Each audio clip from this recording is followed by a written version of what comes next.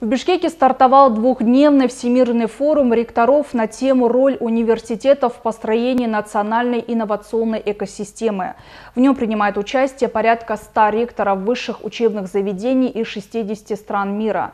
Первый день работы форума включает в себя параллельные панельные сессии. По итогам первого дня планируется подписать резолюцию. В рамках второго дня в Бишкекском государственном университете имени Кусейна Карасаева планируется провести выставку «Международное образование и карьера Экспо Бишкек» и ряд других. Сегодня высшие учебные заведения должны не только предоставлять образование, но и вносить свой вклад в развитие страны, взяв на себя роль флагманов в политико-экономических и культурно-социальных направлениях, сказал председатель Кабинета министров Акалбек Джапаров в ходе выступления на Всемирном форуме ректоров. В настоящее время в республике насчитывается 78 вузов, из них обучается более 230 тысяч студентов.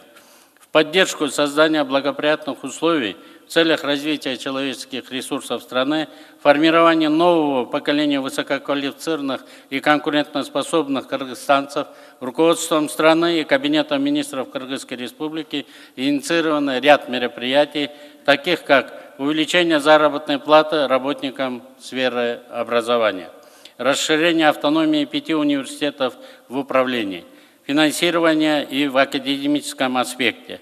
Пересматривается законодательная база образования и науки для обеспечения полноценного инновационного развития образовательных организаций.